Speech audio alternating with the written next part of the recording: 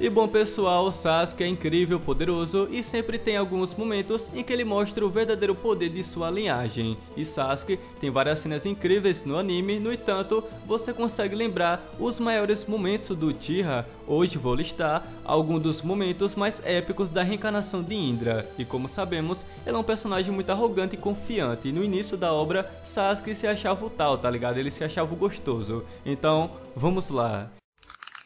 Em sua primeira missão importante, o time 7 entrou em combate contra os irmãos demônio do País da Névoa, e o mais incrível de tudo é como ele mostra frieza no combate, arrancando elogios do próprio Kakashi, e o seu rival Naruto a todo momento ficava falando que queria fazer isso e aquilo, mas chegou na hora do vamos ver e ele ficou paralisado de medo. E o mais legal dessa cena é que após isso, Sasuke zoa Naruto chamando ele de covarde. E aí? O que, que foi? Você não se machucou, né? Moleque medroso. E bom, dando continuidade no Naruto clássico, mais precisamente quando Naruto, Sakura, Konohamaru, Moenji e Udon se encontram com os ninjas de outra aldeia, que no caso era Gara, Temari e Kankuro, e após separado facilmente pelo ninja da marionete, Naruto fica apenas observando Kankuro esculachar Konohamaru, mas de repente uma pedra cruza o ar e mais uma vez Sasuke dá aquela mitada com apenas uma pedra. Você tá muito longe de casa, é melhor dar o fora. Se manda. E bom, para finalizar o clássico, em sua luta contra o ninja de Orochimaru, Yoroi, que apesar de não ser lá muito poderoso, tinha uma habilidade que no futuro se tornou muito importante para diversos ninjas, o Jutsu de Absorção. E isso contra o Sasuke naquele momento seria um perigo por conta da marca da maldição. No entanto, Sasuke consegue controlar a marca e de repente ele derrota o ninja com a rajada de leões, deixando todo mundo de boca aberta. Volta aqui! Eu não acabei ainda!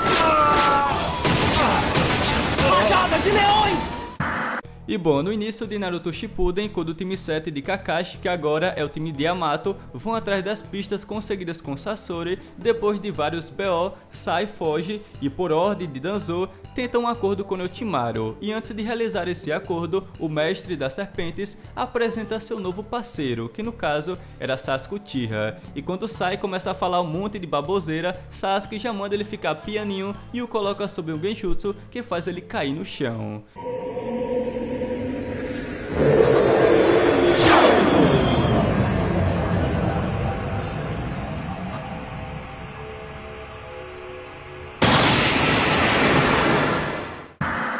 bom, um tempo depois, Sasuke desenvolve sua variação do Shidori, aumentando sua extensão, e nesse momento ele sabia que Orochimaru já não trazia mais benefícios a seu objetivo, que no caso era matar seu irmão Itachi. Aí ele resolve por um fim nisso, afinal, dar seu corpo a Orochimaru não valia mais a pena, pois como ele mesmo falou, eu estou mais forte que você. Aí ele vai lá e mata seu mestre Orochimaru. Orochimaru, お前のいかなる術も この目の前では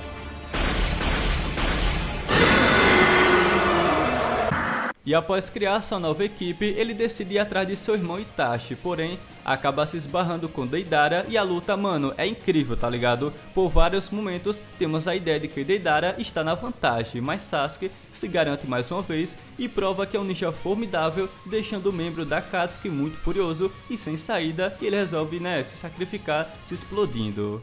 勝った勝ったぞオイラの芸術が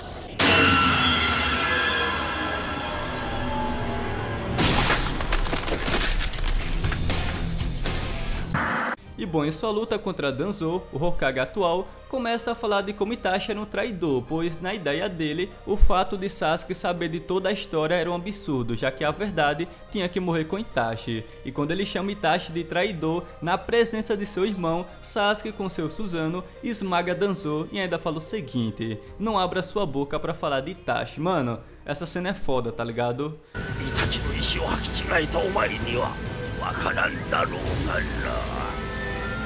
お前に秘密を明かしたイタチはこの葉に対する恨みそれ以上イタチを語るな。E após serem quase mortos por Madara, ele e Naruto retornam basicamente como deuses, Naruto com seu Rikudo Senjutsu e Sasuke com seu Rinnegan. Madara então declara que aquela seria a luta final, o poder deles contra o seu, e a luta mano se inicia com várias técnicas. No entanto, Madara percebe que o olho de Sasuke é muito especial, então ele tenta roubá-lo, né? Mas Sasuke com seu novo poder mita mais uma vez e engana Madara com seu teletransporte. さぞやその左目も俺の目としてしっくりくるだろ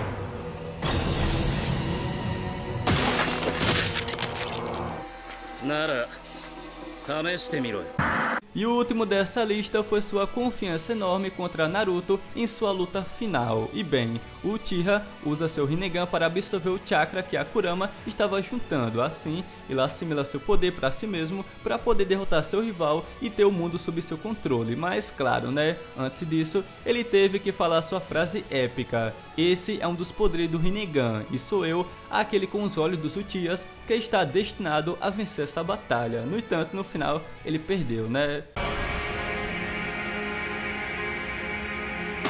俺は今この世で最も強いそして今ここで影に足を踏み入れる第一歩としよう E bom pessoal, eu espero que você tenha gostado. Se você curtiu, deixa o like, se inscreve, ativa o sininho. E mano, é isso, tá ligado? Fui e até a próxima, pessoal.